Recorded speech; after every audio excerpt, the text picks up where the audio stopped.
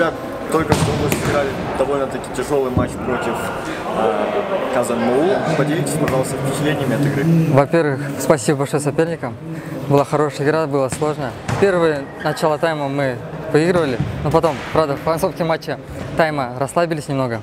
Вот, нам пропускали чуть-чуть. На наших ошибках все. Ничего, на ошибках учатся.